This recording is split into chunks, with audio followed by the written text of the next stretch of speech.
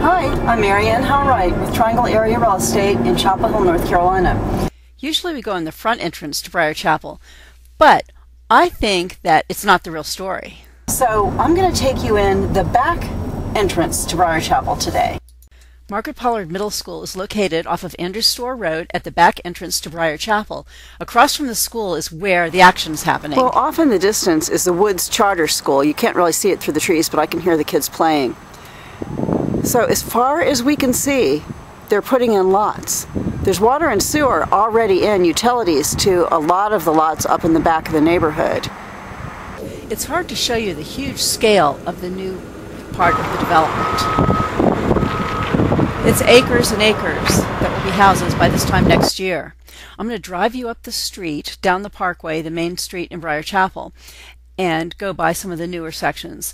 The houses on the left are by Garman Homes. They're a new builder for the neighborhood.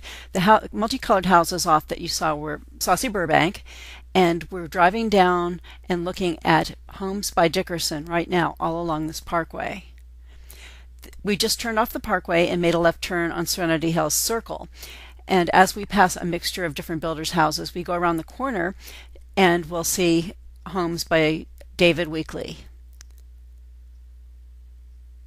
They're pretty big and that you get a lot of square footage for the money with Weekley. As we go up towards the end of Serenity Hills Circle, we'll see some Saussy Burbank homes. That's one of their signature styles. There are a few townhomes, although they didn't sell very well.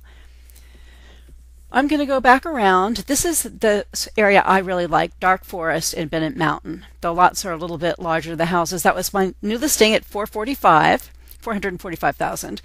As we go up Dark Forest, we are going to pass the Drees Homes model on the right, and we're back up So I'm going to drive back out down the parkway and I'm passing the clubhouse right now. If you're from a different part of the country, Northern Virginia, for example, or in the DC area where my family's from, you're used to seeing this big construction, big projects.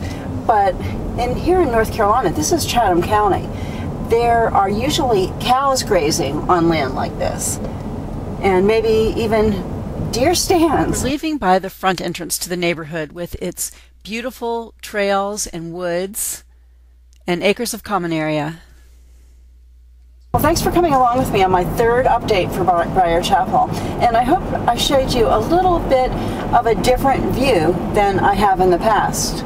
This is Marianne Howell-Wright, and I'm leaving Briar Chapel in Chapel Hill, North Carolina.